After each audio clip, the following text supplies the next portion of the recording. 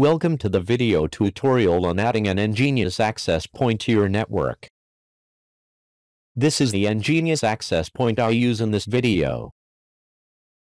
First you use a Windows computer to configure the EnGenius access point. I connect my Windows computer to the EnGenius access point using an Ethernet cable. You set a static IP address for your Windows computer as above. The default IP address of EnGenius access point is 192.168.1.1. You open any browser and access the EnGenius access point using the default IP address. The default username and password are both admin. After completing access to the EnGenius access point management page, set up the wireless network according to the following steps. You set up a wireless network on each band. On each band you can create many different wireless networks if you want. Access Point EnGenius supports setting up VLANs for each different wireless network.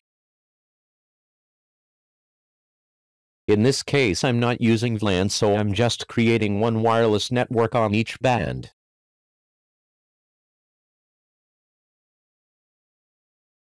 After completing the wireless network setup on the 2.4G band, I set up the wireless network on the 5G band.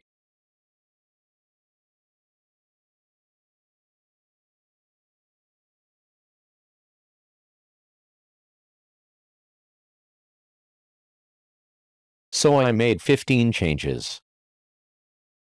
Now you apply the changes on the EnGenius access point.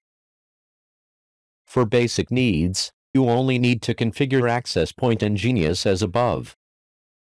Next you use an Ethernet cable to add the EnGenius access point to your network. You connect the EnGenius access point to the switch or LAN port of the router. Make sure the LAN light on the EnGenius access point is blue. Above are the steps to add EnGenius access point to your network. Thank you for watching, don't forget to like and subscribe. Good luck.